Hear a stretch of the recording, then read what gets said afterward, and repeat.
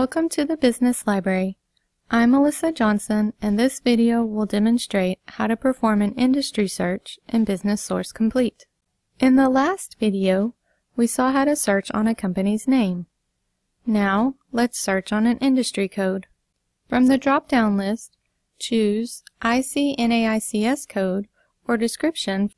NAICS code is a way to search for industry-specific information. When researching companies, you also want to search on the industry that your company is involved in.